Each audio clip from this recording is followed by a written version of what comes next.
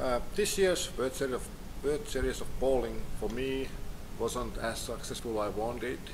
Of course, I still have a chance to win a couple of titles, and if I do those, I'd be extremely happy.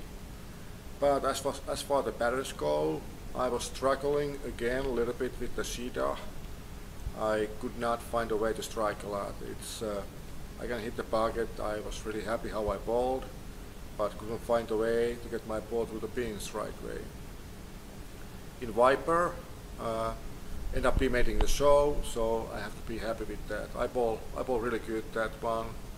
Couple of bad breaks there, but in the end they didn't cost me basically anything. So I'm happy. I'm waiting for the TV show.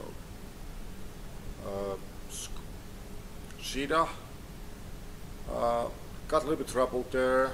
I was uh, kind of uncomfortable and overall as my performance was the worst one for that pattern. I didn't bowl as well as I should bowl and that's why it might be even my worst score.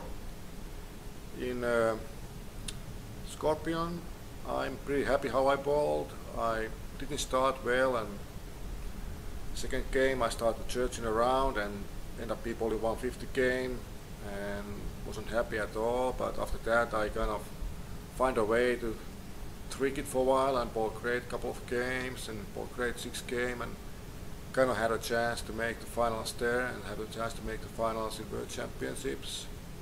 But in last two couple of games run the same problem again couldn't find a strike and didn't make the right move to find a way to strike.